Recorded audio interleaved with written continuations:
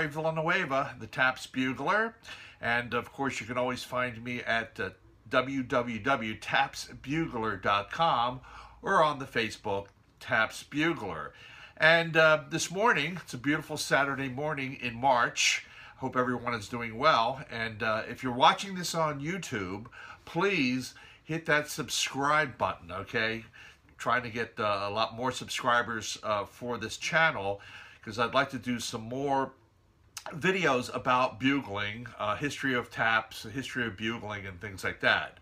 Uh, but this morning, it's such a it's such a gorgeous morning. I thought I'd take a few minutes and uh, talk about some bugles I received in the mail from my good friends over at BAC Instruments. Uh, this is the company that's in Kansas City, and the owner is Mike Corrigan, who um, has quite a, a, bugle collection of his own. He and I have been talking back and forth about bugling, and um, he uh, now that he has the company in Kansas City. Uh, this is the company, uh, of course, that bought up a, a, lot of the materials from Kanstul in California. And hopefully they are going to continue the great tradition that Kanstul started of making trumpets and also of making bugles. And uh, he sent me two bugles uh, to look at. And so I'm going to show them to you this morning and play them a little bit and give you my feedback on, on them. Now, as many of you know, uh, I sound taps at military funerals. I'm very, I'm a big advocate of live bugling. And I'm, of course, a big advocate of having uh, people use bugles instead of trumpets because it's you know the more traditional way of sounding bugle calls. And of course the horn that i use is a b flat uh, trumpet also known as a bugle. Of course those terms are interchangeable trumpet and bugle. So if i mention trumpet or bugle in this context i'm referring to a valveless brass instrument. Um, now, the most common one that you'll find on eBay and find all over uh, uh are the ones that are based on the M1892 field trumpet uh, in G. Of course, in the 1950s, Vincent Bach made uh, a bugle that was in B flat for use by the United States Army Band uh, for funerals and ceremonies at Arlington National Cemetery. That had that tradition has continued ever since. Uh, this is one of those instruments that they use. This is a Bach uh, B flat uh, Bach Stradivarius bugle. Uh, this was one of the ones that was made in uh, I think 2004 2005 uh, when they did another order of bugles for them. So they're out there. Kanstul has a number of B flat bugles that are still floating around out there. Um, Carroll Bugle is also uh, making some, as many of you know. I've been selling those, and I will have some more this spring to sell.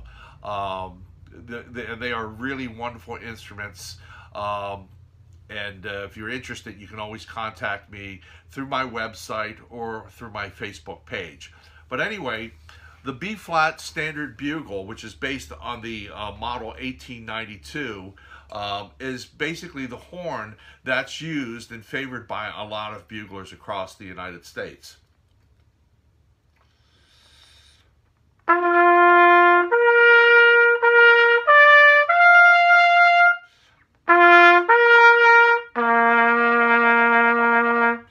You know, a nice, good free-blowing instrument all the way through.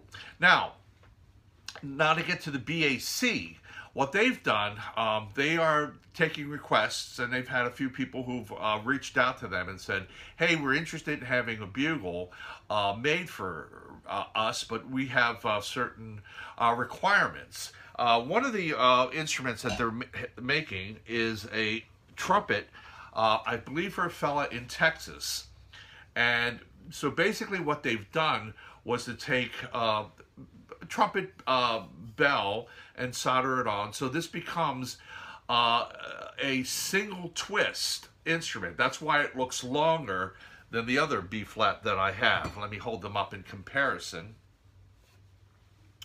You'll see that this is this top horn is a double twist. So it looks smaller, but it still has the same amount of tubing, okay? Uh, both play in the key of B flat. Now, um, probably without having that that extra twist, it probably makes for a little bit more of a free blowing instrument. The customer who asked for this instrument, by the way, this is a prototype, so that's why there's a lot of um, soldering marks you can see on this and everything.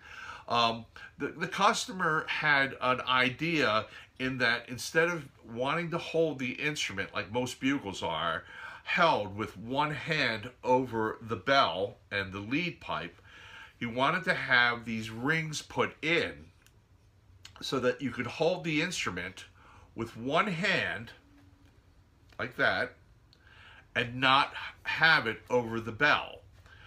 Um, this is an interesting uh, concept.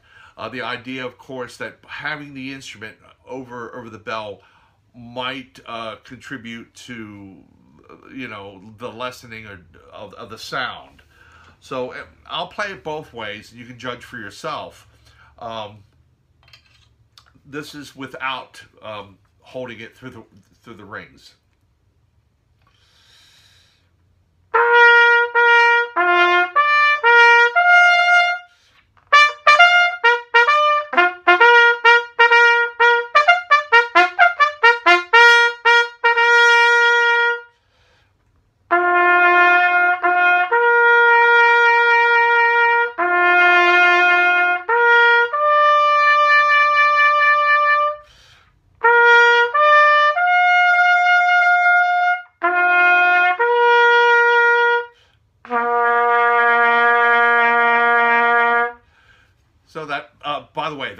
Bottom note sounds a little sharp to my ears.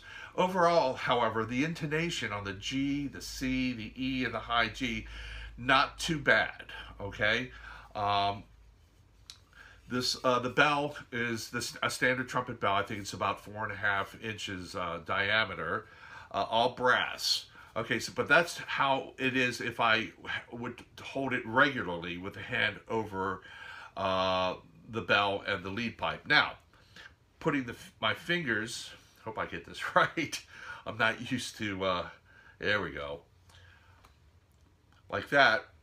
Now, what makes this kind of uh, interesting is that um, it, it, it just, it, it, it makes it, to me, my, my opinion, just a little more difficult to hold okay and if it, if you're a really nervous player too or uh, not one of you know not one of those very uh, you know less pressure type players. It could be a little difficult.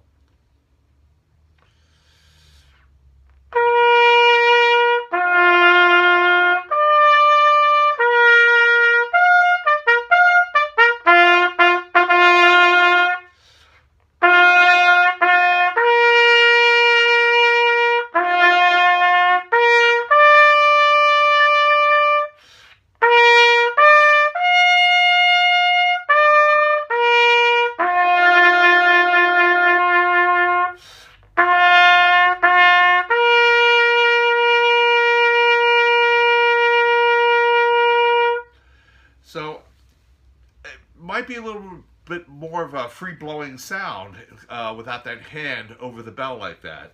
Um, interesting concept. Uh, has a tuning slide um, here at the at the front. So um, to my ear, I should should have used the tuner. it sounds a hair sharp. Um, so um, uh, excuse me, sounds a little flat. The B flat is not quite there uh, but that's just my ear. But overall, like I said before, plays uh, very well in tune. I guess this would fit very well into a standard trumpet case uh, for carrying around. So um, if uh, BAC decides to make these instruments, it's um, an alternative to the other type of bugle that has the double twist. So once again, you can take a look at how these instruments uh, are configured and put that like that, okay. And bells side by side. Yeah, okay, so um, but I like it. it. It blows pretty free too, which is which is great. Now the second bugle that they, they sent me was um, a smaller B flat, and this is actually a real bugle as opposed to the other instrument because this has more of a conical shape to the bell. Okay, I believe that these um, this bell is one of the leftover instruments uh, from the old guard fife and drum bugles that were manufactured, I believe, by Kanstul. Uh, those uh, are, are, are, terrific instruments, and of course, uh, the old guard uses a bugle that has a valve in, in it. So this is this is constructed without any valves to it. So it's just a free blowing uh, double twist bugle. Okay. Looks like the British bugle, um, the duty bugle, the so-called duty bugle, um, has a, a, large bell, almost five inches in diameter. So it's it's a, it's a big fat bell, and of course it's going to have a darker sound. Uh, the B flat trumpet, and you can see the difference here with with the bells. The the uh, bottom instrument here, of course, has a more cylindrical bell to it, making it a trumpet, while the top has that conical bell to it, making it more of, of a real bugle. So, um, that's just what it sounds like, and you'll probably hear the difference.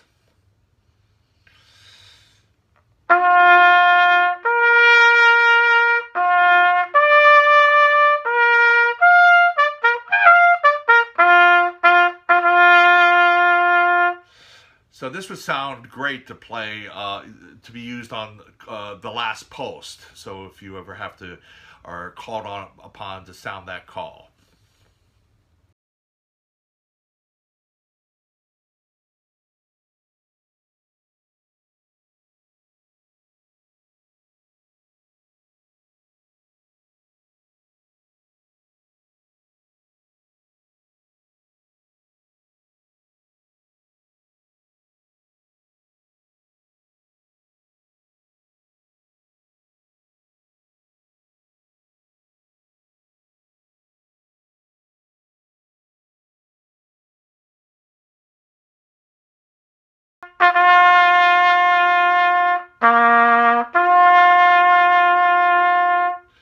That's the short version of it, okay?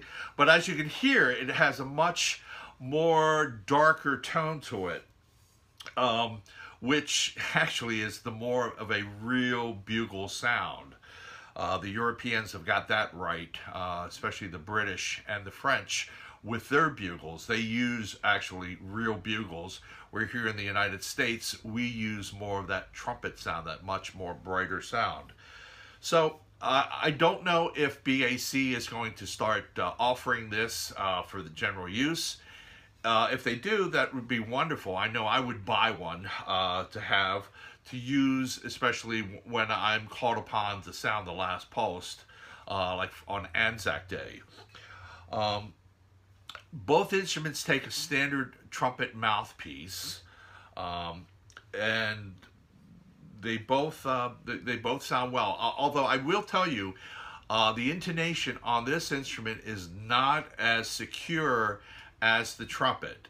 Um, it's just one of one of those things. Bugles always have the tendency where the the fundamental can be sharp the third, uh, th that third can also be flat, and then the top note can also be very sharp. So when you're playing an instrument, a bugle like this, it's very tough to find an instrument that's going to be perfectly in tune and you're going to have to adjust and sometimes fight the horn. And you'll find that especially on the um, less expensive uh, instruments, the cheap ones, uh, especially those uh, the M1892 Boy Scout type bugles uh, that are being offered. And I'm actually going to do a video about those M1892 bugles that are out there in the market. A lot of people go to uh, websites and they see these nice bright shiny instruments and it's uh, like $150 $175 and it's oh wow that what what a great looking horn well um, it's the old adage you get what you pay for um, a lot of those instruments, the reason they can sell them for a, uh, a lesser price is that the mouthpiece that comes with it are usually of a very lesser quality. I mean, if you want to make an instrument sound good, you know, you, you really need to have a decent mouthpiece, you know, and a Bach mouth, mouthpiece. Those brand new ones will go uh, for around 50 60 70 dollars okay? So you know all of a sudden you know if you put a decent mouthpiece on one of those inexpensive horns the price jumps up. But uh, i'll be doing a video about that. But however i want to thank you for watching this.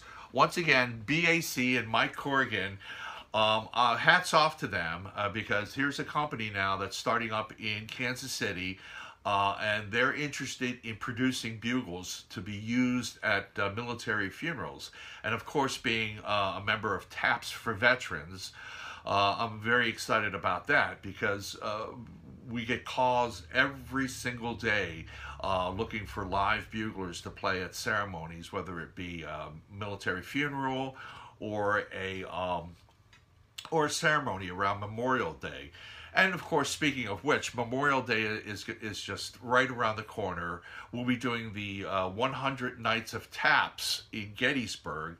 That will start up on Memorial Day and run all the way through the summer. Uh, every evening, a bugler sounding the call at 7 p.m. at the Soldiers Monument in the Gettysburg National Cemetery. Um, that registration is actually going to start on March 14th. So you can go to uh, my Facebook page, the uh, tapsbugler.com, or we have the 100 Nights of Taps Gettysburg has a Facebook page, and you can go there to find out more information, or tapsforveterans.org, another website. Lots of websites out there, but uh, ours are the best, of course. Uh, the Taps Bugler one, uh, you'll find lots of information about bugling. Uh, so that starts. Also, Taps Across America. Um, that was very successful last year with uh, 10,000 participants throughout the country uh, playing the call. Um, most of them on trumpets and bugles, but a lot of folks playing on different instruments like flutes and clarinets, trombones, saxophones, and even tuba players and euphonium players, violinists. It was really something. Uh, we're going to repeat that again, um, and more information about that will be coming up real soon. Uh, that's the Taps Across America, and you can go to your Facebook page and look that up also. Uh, and last but not least, a very important thing is that this year is the 100th anniversary of the Tomb of the Unknown Soldier, the first interment of the unknown that was brought from France over to Arlington National Cemetery on November 11th, 1921. And uh, you'll find a lot of information on Taps Bugler about that as we commemorate not only the history of the tomb, but also the buglers who performed that that day in 1958 for the uh, interment of the World War II and Korean uh, unknown, and also the 1984 Vietnam uh, unknown that was interred. So those three buglers uh, we're gonna, going to celebrate, as well as all the men and women who have sounded those 24 notes over the past 100 years on the plaza at Arlington National Cemetery. Um, I am one of those few that have been privileged to be able to sound the call on the plaza for a ceremony at the tomb. And I can tell you it's um, altogether exhilarating and terrifying all at once, uh, but an incredible honor. So more information about that will be coming up. Uh, that's in November. Uh, meanwhile, um, once again, tapsbugler.com. I'm Jari Villanueva. Uh, please, if you're watching this on uh, YouTube, hit that subscribe button, okay? Because uh, I'd love to get many more subscribers. And thank you once again uh, to BAC for uh, sending these bugles out for me to try. And I hope uh, that uh, you were able to get some uh, good information on this. And if you have any questions, um, if you're watching this on uh, on YouTube, in the bottom there, comments, ask questions. I'm happy to answer any questions, or you can send me a question at my Facebook page. So once again, thanks so much. I appreciate you taking a little bit of your time on this beautiful Saturday morning. And uh, I think I'm going to get out there and go for a nice walk. Take care.